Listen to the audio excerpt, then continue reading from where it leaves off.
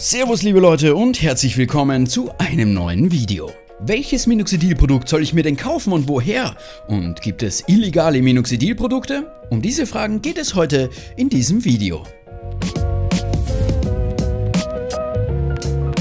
In letzter Zeit bekomme ich viele Fragen zu diesem Thema und weil ich über die Jahre meiner Minoxidilkur oder meines Minoxidil-Experimentes schon sehr viel Erfahrung mit Minoxidil-Produkten sammeln konnte und auch verschiedene Minoxidil-Produkte verwendet habe, dachte ich mir, ich fasse das heute für euch zusammen. Bevor es aber heute mit dem Video losgeht, möchte ich mich bei meinen neuen Kaffeekassenspendern bedanken.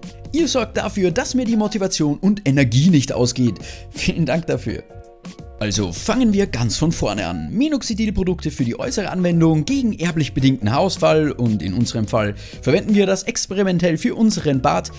Ja, die sind nicht rezeptpflichtig, wohl aber apothekenpflichtig. Das bedeutet, diese Produkte darf nur eine Apotheke verkaufen. Aber ihr müsst nicht zum Arzt laufen und euch ein Rezept dafür holen, das ist nicht nötig. Das Mindestalter für die Anwendung ist in den meisten Produkten mit 18 Jahren angegeben. Ich persönlich empfehle aber jedem bis mindestens 25 zu warten, bevor man es für die Bartwuchsförderung verwendet. Zuerst sollte man einmal schauen, was natürlich so an Bartwuchs sich entwickelt, bevor man dann zu einem Medikament greift, das wie ihr alle wisst, auch Nebenwirkungen haben kann. Inzwischen gibt es schon sehr viele Marken, die ein topisches Minoxidil-Produkt anbieten. Meist wird es als flüssige Lösung oder als Schaum verkauft. Für Frauen gibt es Minoxidil-Produkte mit einer Konzentration von 2% Minoxidil. Für Männer wird es mit einer Konzentration von 5% verkauft. Die enthaltene Konzentration von Minoxidil wird entweder in Prozent oder Milligramm pro Gramm angegeben. Also lasst euch nicht verwirren, wenn auf eurem Produkt 50 Milligramm pro Gramm steht. Das sind auch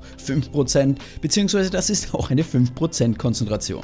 Es gibt auch Produkte mit einer höheren Konzentration, also mit 10% oder sogar 12,5%. Jetzt aber aufgepasst, diese Produkte sind bei uns nicht zugelassen. Macht es denn eigentlich Sinn, ein höherprozentiges Produkt zu verwenden, so nach dem Motto, mehr bringt mehr? Nein. In den meisten Fällen bringt ein höherprozentiges Produkt keine Vorteile. Eine neue Studie hat sogar ergeben, dass ein 10% Produkt signifikant schlechter abschneidet als ein 5% Produkt.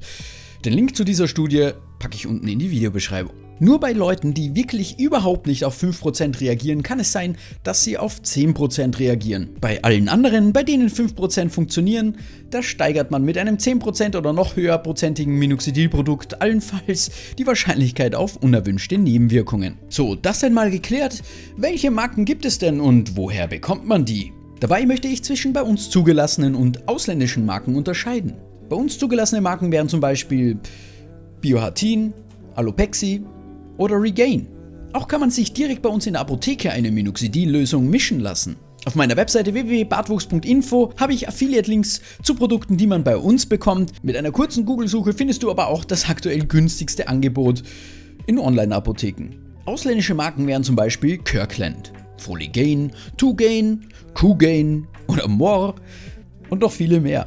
Produkte aus dem Ausland bekommt man oft bei eBay, manchmal auch auf Amazon oder in internationalen Webshops, wie zum Beispiel BioVea, bei der ich selbst am Anfang bestellt habe. Diese Marken locken oft mit sehr günstigen Preisen. Allerdings sollte man sich bewusst sein, dass es bei uns illegal ist, Arzneien aus dem Ausland zu bestellen und im schlimmsten Fall bleibt diese Bestellung beim Zoll hängen und man bekommt eine Strafe.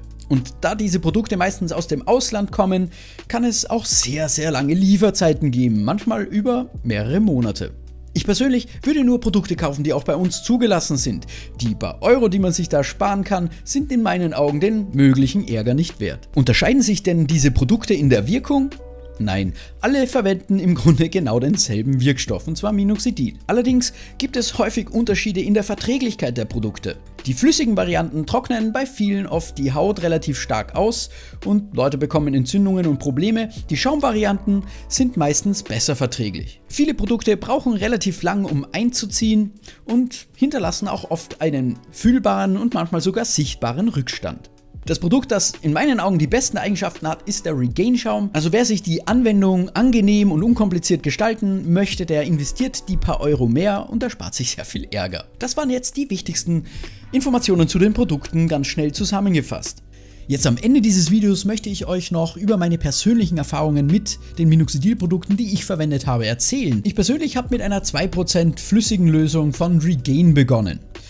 Zu der kann ich gar nicht so viel sagen, weil die habe ich auch nicht so lange verwendet. Aber dann, danach habe ich den, die 5% flüssige Lösung von Kirkland verwendet. Die habe ich damals bei BioVea bestellt. Es hat relativ lange gedauert, bis die bei mir ankam, also so ungefähr zwei Wochen. Jetzt im Moment bekomme ich von ganz vielen Leuten immer ein Feedback, dass bei BioVea wirklich dann teilweise auch Probleme bekommt oder ein Produkt gar nicht ankommt.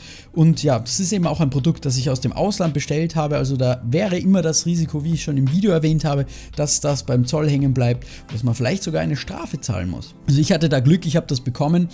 Ich habe die flüssige Lösung von Kirkland am Anfang ganz gut vertragen, aber nach ein paar Wochen habe ich schon gemerkt, dass meine Haut wirklich sehr trocken wird und schuppig wird. Ich habe dann versucht, gegen die trockene Haut mit Nivea Soft und Jojobaöl vorzugehen. Ich habe auch Rizinusöl verwendet und das ging eine Zeit lang gut, aber in Woche 10 habe ich dann wirklich Entzündungen bekommen und die haben sich dann sogar in meinem ganzen Körper ausgebreitet. Also ich hatte so eine Art Neurodermitis-Schub, würde ich sagen. Dann musste ich mal eine Pause machen. Ich habe mich wirklich dann darum gekümmert, dass ich meine Haut nicht mehr austrockne. Habe mir den äh, Kirkland Schaum bestellt in der Zeit, weil eben der Schaum viel besser verträglich ist und habe dann den Schaum von Kirkland und die flüssige Lösung von Kirkland, die ich ja noch hatte, ähm, abwechselnd verwendet, damit ich beides verwende. Und äh, der Schaum von Kirkland war auch viel besser, der hat meine Haut nicht so stark ausgetrocknet und mit dem Abwechseln, ja, da konnte ich die, das Gleichgewicht meiner Haut irgendwie halten. Und ich habe dann eben beide Kirkland Produkte aufgebraucht. Zum Schaum von Kirkland kann ich sagen, dass er so ein bisschen einen stumpfen Rückstand hinterlässt, dass er auf jeden Fall relativ lang zum Einziehen gebraucht hat, also bis das Gesicht sich dann nicht mehr nass angefühlt hat, ist schon gut und gerne eine halbe Stunde bis eine Stunde vergangen. Als dann die Kirkland-Produkte aufgebraucht waren, habe ich äh, Foligen verwendet. Da habe ich mir die alkoholarme Lösung von Foligen bestellt weil ja der Alkohol in der Lösung meistens dafür verantwortlich ist, dass die Haut austrocknet. Der alkoholarme, die alkoholarme Lösung von Foligen, die habe ich eben auch aus dem Ausland bestellt. Also Leute, das ist eben immer mit Vorsicht zu genießen, die Marke Foligen. Aber weil es halt für mich eben wichtig war, dass ich meine Haut nicht so stark austrockne und ich dieses Foligen, die alkoholarme Lösung ausprobieren wollte, habe ich mir das bestellt. Wahrscheinlich ja doch auch über BioVea. Und ähm, die hat schon geklappt, die, die Lösung. Die war gar nicht so schlecht. Allerdings und war besser verträglich auf jeden Fall äh, für mich jetzt, für meine Haut. Wir sind ja alle ein bisschen unterschiedlich als äh, die, der, die flüssige Lösung von Kirkland. Aber sie hat auch die Haut ausgetrocknet. Also mit der Zeit habe ich dann auch ein paar Entzündungen bekommen und so, aber ich habe das in den Griff bekommen. Oh, da ist das nicht eskaliert, so wie bei der Lösung von, Regain, äh, von Kirkland. Dann habe ich auch den Foligen Schaum verwendet bei dem war der Rückstand dann wirklich sehr klebrig und im Grunde war das auch gar kein Schaum. Also du hast da, da keine Druckbehälter zum Beispiel, wie eben der Kirkland-Schaum oder der Regain-Schaum, die sind ja in einem Druckbehälter. Beim Foligen-Schaum, das war eine große Dose, so drei Monats Vorrat ist da drin, das ist eigentlich nur flüssig da drin und wenn man es rausdrückt mit so einem Hub, dann äh, kommt das so ein bisschen aufgeschäumt raus, aber es ist eigentlich nicht, also nicht mit dem Schaum von Kirkland oder Regain zu vergleichen. Im Grunde wird das eben auch sofort wieder flüssig und man schmiert sich die Flüssigkeit dann halt mit dem Finger an die Stellen, wo man sich den Haarwuchs fördern möchte. Ähm, der Rückstand von dem Schaum war sehr klebrig im Vergleich zum eher stumpfen Gefühl beim Kirkland-Schaum. Und ich mochte den Geruch nicht vom Foligen-Schaum. Danach habe ich dann eben hauptsächlich wirklich den Regain-Schaum verwendet und da muss ich sagen, dass sich die paar Euro mehr, die ich dafür gezahlt habe, wirklich ausgezahlt haben, denn äh, der ist innerhalb von 5 Minuten eingezogen, er hinterlässt keine sichtbaren Rückstände und, und man fühlt auch wirklich kaum einen Rückstand. Also es stört überhaupt nicht im Alltag, man kann den einfach immer verwenden. Ist meiner Meinung nach, zahlt sich das wirklich aus, da ein paar Euro mehr zu investieren, weil man, weil es dann auch irgendwie garantiert, dass man das regelmäßig verwendet, weil es eben so einen geringen Aufwand macht. Ja, das waren meine persönlichen Erfahrungen mit den Produkten, die ich verwendet habe. Wie schon vorher im Video erwähnt, kauft am besten eben kein Produkt aus dem Ausland, das ist nicht nötig. Wir haben sehr gute Marken und Produkte bei uns. Und wie auch schon vorher im Video erwähnt habe, die sind alle, die haben alle gleich viel Prozent Minoxidil enthalten. Also der Wirkstoff ist überall dasselbe. Also warum sollte man es sich nicht einfach machen und das Angebot wahrnehmen, das es bei uns gibt? Ich bedanke mich fürs Zusehen, vielen Dank für eure Likes, eure Kommentare und eure Abos und ich hoffe, wir sehen uns bald wieder. Bis dahin, Servus.